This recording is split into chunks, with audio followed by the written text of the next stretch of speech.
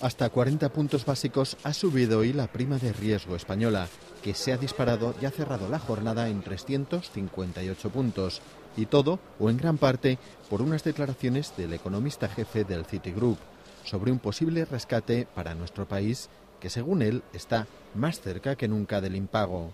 Tampoco ha sido buena la jornada en el mercado de renta variable, ya que el IBEX 35 ha sufrido la cuarta mayor caída del año, al dejarse un 1,62% y perder el nivel de los 8.400 puntos.